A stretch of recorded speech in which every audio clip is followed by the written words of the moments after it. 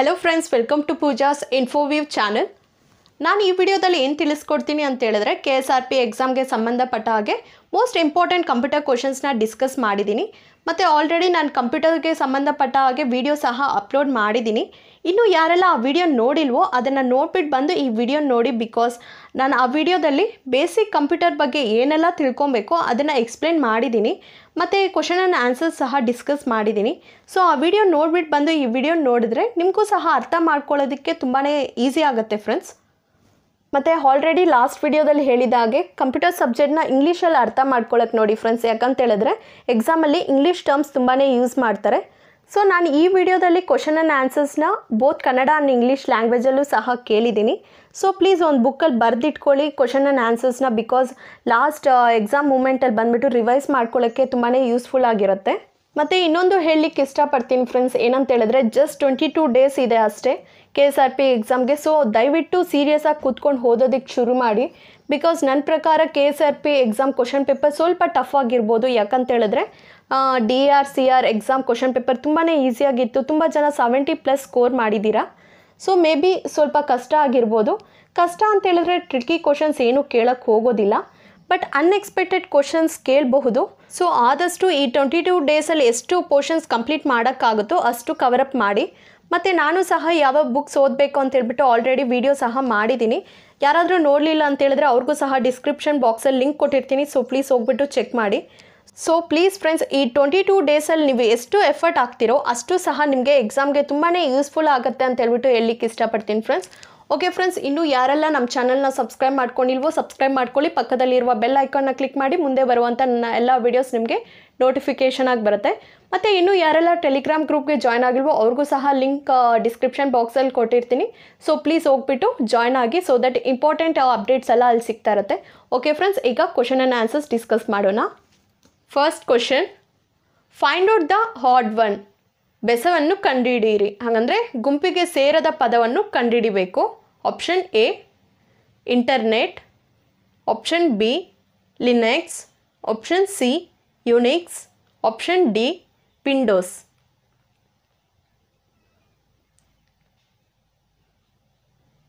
ಸರಿಯಾದ ಉತ್ತರ option A internet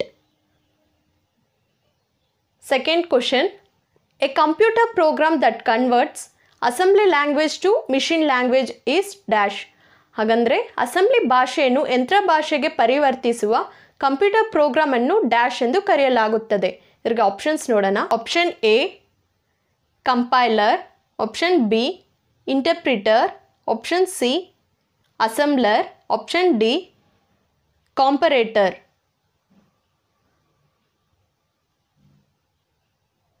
ಸರಿಯಾದ ಉತ್ತರ option C assembler third question which output device is used for translating information from a computer into pictorial form on paper ಹಾಗಂದರೆ, ಕಂಪ್ಯೂಟರ್ನಿಂದ ಮಾಹಿತಿಯನ್ನು ಕಾಗದದ ಮೇಲೆ ಚಿತ್ರಾತ್ಮಕ ರೂಪಕ್ಕೆ ಭಾಷಾಂತರಿಸಲು ಯಾವ ಔಟ್ಪುಟ್ ಸಾಧನವನ್ನು ಬಳಸಲಾಗುತ್ತದೆ ಅಂತೇಳ್ಬಿಟ್ಟು ಕೇಳಿದ್ದಾರೆ ಇದಕ್ಕೆ ಆಪ್ಷನ್ಸ್ ನೋಡೋಣ. Option A mouse option B plotter option C touch panel option D card punch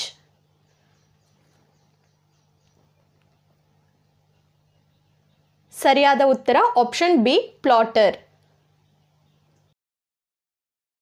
fourth question A compiler means ಹಂಗಂದರೆ compiler ಅಂದರೆ ಏನು ಅಂತ ಕೇಳಿದ್ದಾರೆ ಇದ್ರಿಗೆ ಆಪ್ಷನ್ಸ್ ನೋಡೋಣ option A a person who compile source programs option B the same thing as a programmer option C key punch operator option D a program which translate source program into object program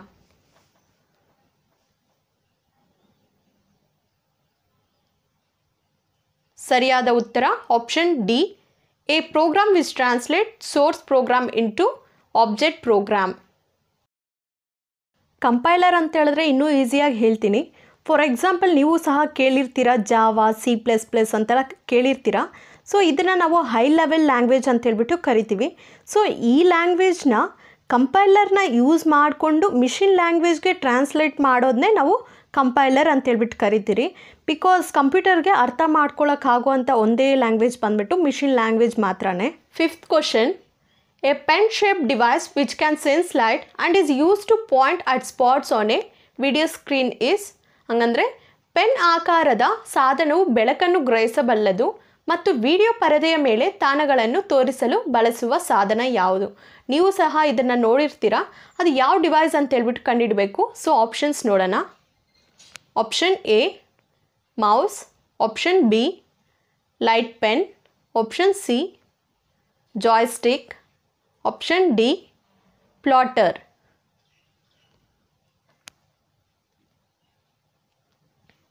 ಸರಿಯಾದ ಉತ್ತರ option B light pen sixth question computer memory consist of ಹಾಗಂದರೆ computer memory ಡ್ಯಾಶನ್ನು ಒಳಗೊಂಡಿದೆ. ಇದ್ರಿಗೆ options ನೋಡೋಣ. Option A RAM option B ROM option C programmable ROM option D all of the above means ಮೇಲಿನ ಎಲ್ಲವೂ.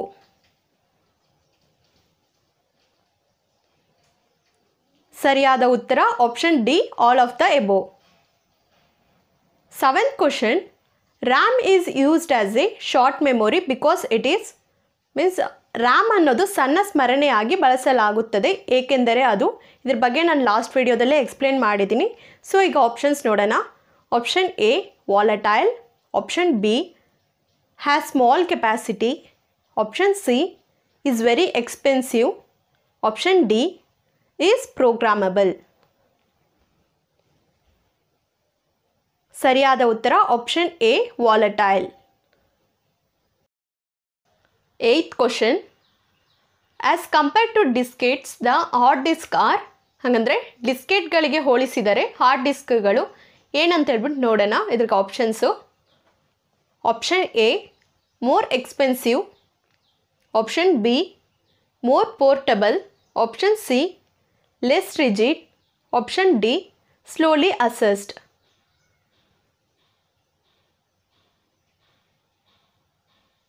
ಸರಿಯಾದ ಉತ್ತರ option A more expensive means ತುಂಬಾ costly ಆಗಿರುತ್ತೆ. Ninth question which of the following is not currently a topic in computer science ಹಾಗಂದರೆ ಈ ಕೆಳಗಿನವುಗಳಲ್ಲಿ ಯಾವುದು ಪ್ರಸ್ತುತ ಕಂಪ್ಯೂಟರ್ ವಿಜ್ಞಾನದಲ್ಲಿ ವಿಷಯವಲ್ಲ? Option A speech recognition option B artificial intelligence option C thermodynamics option D multiprocessing ಸರಿಯಾದ ಉತ್ತರ ಆಪ್ಷನ್ ಸಿ ಥರ್ಮೋಡೈನಾಮಿಕ್ಸ್ ಥರ್ಮೋಡೈನಾಮಿಕ್ಸ್ ಅನ್ನೋದು ಬಂದ್ಬಿಟ್ಟು ಸೈನ್ಸಲ್ಲಿ ಭೌತಶಾಸ್ತ್ರದಲ್ಲಿ ಬರುತ್ತೆ. Tenth question the two kinds of main memory are dash ಹಂಗಂದರೆ, ಎರಡು ರೀತಿಯ ಮುಖ್ಯ ಮೆಮೊರಿ ಡ್ಯಾಶ್ ಆಗಿದೆ. ಇದ್ರ ಬಗ್ಗೆನೂ ಸಹ ನಾನು ಲಾಸ್ಟ್ ವಿಡಿಯೋದಲ್ಲಿ ಎಕ್ಸ್ಪ್ಲೇನ್ ಮಾಡಿದೆ. ಸೊ ಈಗ ಆಪ್ಷನ್ಸ್ ನೋಡೋಣ. Option A primary and secondary option B random and sequential option C ROM and RAM option D all of the above ಸರಿಯಾದ ಉತ್ತರ option C ROM and RAM eleventh question programs design to perform specific task known as dash ಹಾಗಂದರೆ, ನಿರ್ದಿಷ್ಟ ಕಾರ್ಯಗಳನ್ನು ನಿರ್ವಹಿಸಲು ವಿನ್ಯಾಸಗೊಳಿಸಲಾದ ಕಾರ್ಯಕ್ರಮಗಳನ್ನು dash ಎಂದು ಕರೆಯಲಾಗುತ್ತದೆ. Last video ಯಾರೆಲ್ಲ ನೋಡಿರ್ತೀರೋ ಅವ್ರಿಗೆ ತುಂಬಾ ಈಸಿಯಾಗಿರುತ್ತೆ ಈ ಕ್ವಶನ್ಸ್ನೆಲ್ಲ ಆನ್ಸರ್ ಮಾಡೋದಕ್ಕೆ. ಈಗ ಆಪ್ಷನ್ಸ್ ನೋಡೋಣ. Option A system software option B application software option C utility programs option D operating system ಸರಿಯಾದ ಉತ್ತರ option B application software twelfth question device used in C P U for temporary storage during processing is call what ಹಂಗಂದರೆ ಸಂಸ್ಕರಣೆಯ ಸಮಯದಲ್ಲಿ ತಾತ್ಕಾಲಿಕ ಸಂಗ್ರಹಣೆಗಾಗಿ C P ಯುನಲ್ಲಿ ಬಳಸುವ ಹೆಚ್ಚಿನ ವೇಗದ ಸಾಧನವನ್ನು ಏನೆಂದು ಕರೆಯಲಾಗುತ್ತದೆ ಅಂತೇಳ್ಬಿಟ್ಟು ಕೇಳಿದ್ದಾರೆ. ಇದಕ್ಕೆ ಆಪ್ಷನ್ಸ್ ನೋಡೋಣ. Option A a register option B a bus option C a data bus option D all of the above ಸರಿಯಾದ ಉತ್ತರ option A a register thirteenth question thousand twenty four bytes represent a ಹಂಗಂದರೆ thousand twenty four ಬೈಟ್ಗಳು ಏನನ್ನು ಪ್ರತಿನಿಧಿಸುತ್ತವೆ ಅಂತ ಹೇಳ್ಬಿಟ್ಟು ಕೇಳಿದ್ದಾರೆ ಈ ಥರ ಕ್ವಶನ್ಸ್ ಬಂದ್ಬಿಟ್ಟು ಖಂಡಿತವಾಗ್ಲೂ ಎಕ್ಸಾಮ್ಸಲ್ಲಿ ಕೇಳ್ತಾರೆ. ಸೊ ಇದ್ರ ಮೇಲೆ ಚೆನ್ನಾಗಿ ಫೋಕಸ್ ಮಾಡಬೇಕು. ಆಪ್ಷನ್ಸ್ ನೋಡೋಣ. Option A megabyte option B gigabyte option C kilobyte option D none of the above ಸರಿಯಾದ ಉತ್ತರ option C kilobyte fourteenth question which type device is a piece of equipment that receives information from a C P U ಕನ್ನಡದಲ್ಲಿ C P ಯುನಿಂದ ಮಾಹಿತಿಯನ್ನು ಪಡೆಯುವ ಸಾಧನಗಳ ತುಣುಕು ಯಾವುದಂತ ಹೇಳ್ಬಿಟ್ಟು ಕೇಳಿದ್ದಾರೆ.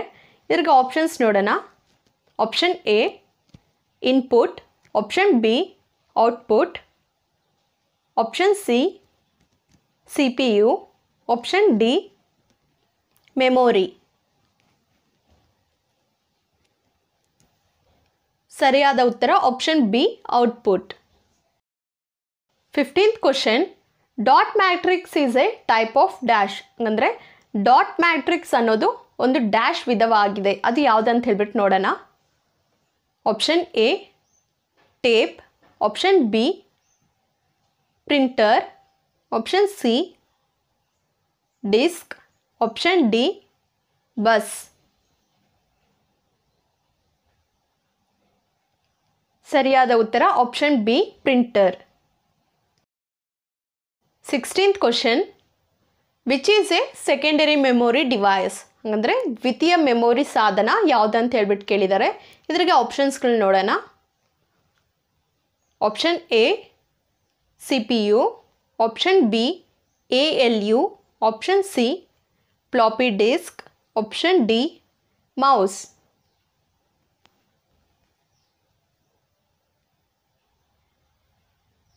ಸರಿಯಾದ ಉತ್ತರ option C floppy disk floppy disk ಅಂದರೆ ಏನಪ್ಪ ಅಂತ ಹೇಳಿದ್ರೆ ಇದೊಂದು ಸೆಕೆಂಡರಿ ಮೆಮೊರಿ ಡಿವೈಸ್ ಆಗಿರುತ್ತೆ. ಇದು ಹೇಗಿರತ್ತೆಪ್ಪ ಅಂತ ಹೇಳಿದ್ರೆ ಬ್ಲ್ಯಾಕ್ ಕಲರಲ್ಲಿ ರೆಕ್ಟ್ಯಾಂಗುಲರ್ ಶೇಪ್ ಮತ್ತು ತುಂಬ ತಿನ್ನಾಗಿರೋದು. ಇವಾಗ ಯಾರೂ ಸಹ ಅಷ್ಟು ಯೂಸ್ ಮಾಡ್ತಾ ಇಲ್ಲ, ನಾನು ಸಹ ನೋಡಲಿಲ್ಲ. ಬಟ್ ಫಿಫ್ಟೀನ್ ಇಯರ್ಸ್ ಬ್ಯಾಕೆಲ್ಲ ನಮ್ಮ ಸಿಸ್ಟರ್ ಇಂಜಿನಿಯರಿಂಗ್ ಓದಬೇಕಂತ ಹೇಳಿದ್ರೆ ಈ ಫ್ಲಾಪಿ ಡಿಸ್ಕ್ನ ಯೂಸ್ ಮಾಡ್ತಾ ಇದ್ದಿದ್ದು ಏನಾದರೂ ಸ್ಟೋರ್ ಮಾಡ್ಕೊಬೇಕಂತ ಹೇಳಿದ್ರೆ. ಬಟ್ ತುಂಬ ಏನು ಸ್ಟೋರ್ ಮಾಡೋದಕ್ಕೆ ಆಗ್ತಾ ಇರಲಿಲ್ಲ. ಸೊ ಇದನ್ನೇ ಫ್ಲಾಪಿ ಡಿಸ್ಕ್ ಅಂತ ಹೇಳ್ಬಿಟ್ಟು ಕರಿತಾ ಇದ್ದಿದ್ದು. ಓಕೆ ನೆಕ್ಸ್ಟ್ ಕ್ವಶನ್ ನೋಡೋಣ. Seventeenth question the heart of any computer is the ಹಂಗಂದರೆ, ಕಂಪ್ಯೂಟರ್ನ ಹೃದಯ ಎಂದು ಯಾವುದನ್ನು ಕರೆಯಲಾಗುತ್ತದೆ ಅಂತ ಹೇಳ್ಬಿಟ್ಟು ಕೇಳಿದ್ದಾರೆ ಇದ್ರಿಗೆ ಆಪ್ಷನ್ಸ್ಗಳು ನೋಡೋಣ. Option A C P U option B memory option C monitor option D disks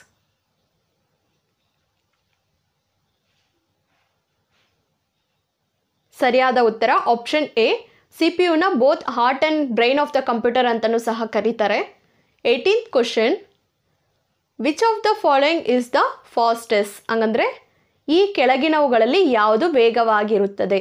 Option A C P U option B magnetic tapes and disk option C video terminal option D sensors mechanical controllers ಸರಿಯಾದ ಉತ್ತರ option A C P U nineteenth question what is mean by the term RAM ಹಂಗಂದರೆ RAM ಎಂಬ ಪದದ ಅರ್ಥವೇನು ಅಂತ ಹೇಳ್ಬಿಟ್ಟು ಕೇಳಿದ್ದಾರೆ options ನೋಡೋಣ. Option A memory which can only be read option B memory which can be both read and written to option C memory which is used for permanent storage option D memory which can only be written to ಸರಿಯಾದ ಉತ್ತರ option B memory which can be both read and written to ಈಗಂದರೆ ಏನಪ್ಪ ಅಂತ ಹೇಳಿದ್ರೆ RAM ಅನ್ನೋದು ಒಂದು ವಿಧವಾದ memory so ಇದರಲ್ಲಿ ಒಬ್ಬ ಯೂಸರ್ ಆ ಮೆಮೊರಿನ ಓದ್ಬೋದು ಮತ್ತು ಏನಾದರೂ ಎಡಿಟ್ ಮಾಡಬೇಕು ಚೇಂಜಸ್ ಮಾಡಬೇಕು ಅಂತಿದ್ದರೆ ಮಾಡ್ಕೊಬೋದು ಬಟ್ ರೋಮಲ್ಲಿ ಬಂದುಬಿಟ್ಟು ಬರೀ ಓದೋದಕ್ಕಾಗತ್ತೆ ಹೊತ್ತಿಗೂ ಬರೆಯೋದಕ್ಕೆ ಏನು ಎಡಿಟ್ ಅಥವಾ ಚೇಂಜಸ್ ಏನೂ ಸಹ ಮಾಡೋದಕ್ಕಾಗೋದಿಲ್ಲ.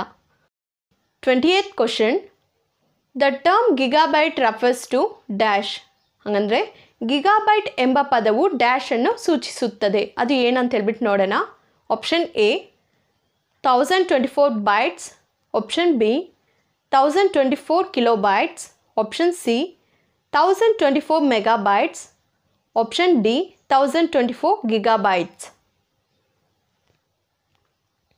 ಸರಿಯಾದ ಉತ್ತರ option C thousand twenty four megabytes twenty first question group of instructions that directs a computer is call what ಹಂಗಂದರೆ ಕಂಪ್ಯೂಟರನ್ನು ನಿರ್ದೇಶಿಸುವ ಸೂಚನೆಗಳ ಗುಂಪನ್ನು ಏನೆಂದು ಕರೆಯಲಾಗುತ್ತದೆ ಅಂತ ಕೇಳಿದ್ದಾರೆ option A storage option B memory option C logic option D program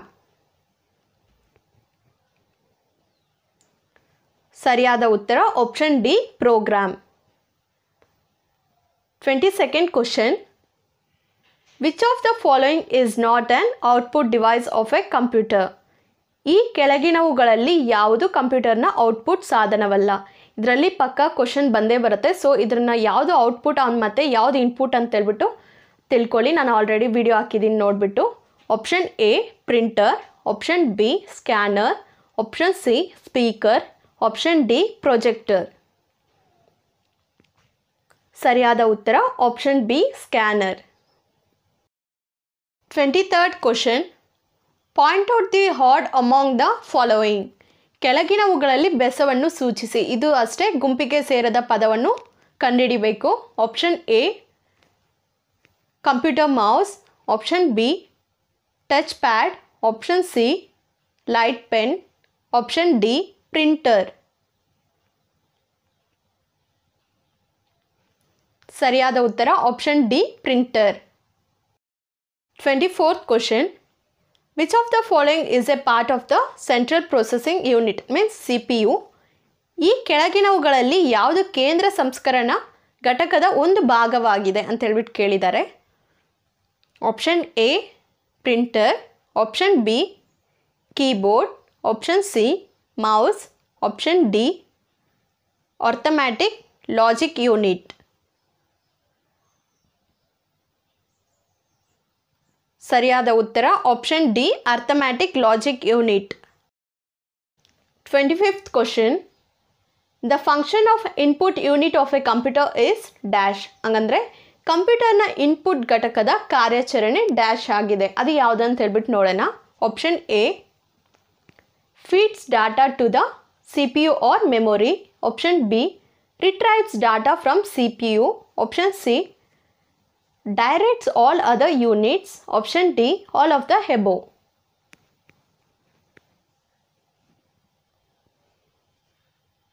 ಸರಿಯಾದ ಉತ್ತರ option A feeds data to the C P U or memory twenty sixth question Primary storage is dash as compare to secondary storage ಹಂಗಂದರೆ, ದ್ವಿತೀಯ ಸಂಗ್ರಹಣೆಗೆ ಹೋಲಿಸಿದರೆ, ಪ್ರಾಥಮಿಕ ಸಂಗ್ರಹಣೆ dash ಆಗಿದೆ. Option A slow and inexpensive option B fast and inexpensive option C fast and expensive option D slow and expensive ಸರಿಯಾದ ಉತ್ತರ option C fast and expensive ಇದು ತುಂಬ ಫಾಸ್ಟ್ ಆಗಿರುತ್ತೆ, ಮತ್ತು ಕಾಸ್ಟ್ಲಿಯಾಗೂ ಸಹ ಇರುತ್ತೆ. Twenty seventh question which of the following is not an alternative name for primary memory ಹಂಗಂದರೆ, ಈ ಕೆಳಗಿನವುಗಳಲ್ಲಿ ಯಾವುದು ಪ್ರಾಥಮಿಕ ಮೆಮೊರಿಗೆ ಪರ್ಯಾಯ ಹೆಸರಲ್ಲ? Option A main memory option B primary storage option C internal storage option D mass storage ಸರಿಯಾದ ಉತ್ತರ option D mass storage twenty eighth question everything computer does is control by its ಹಂಗಂದರೆ computer ಮಾಡುವ ಎಲ್ಲವನ್ನು ಯಾವುದರ ಮೂಲಕ ನಿಯಂತ್ರಿಸಲಾಗುತ್ತದೆ ಅಂತ ಕೇಳಿದ್ದಾರೆ. Options ನೋಡೋಣ. Option A RAM option B ROM option C C P U option D storage devices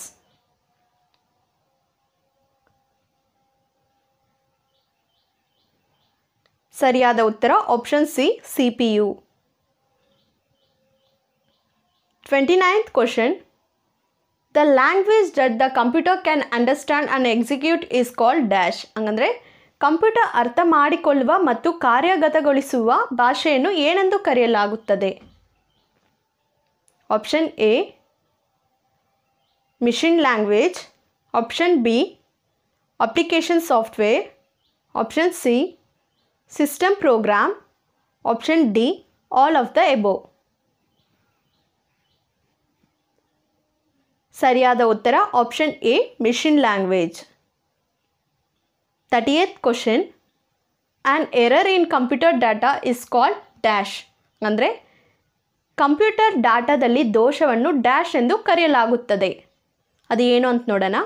Option A chip option B bug option C bit option D storage devices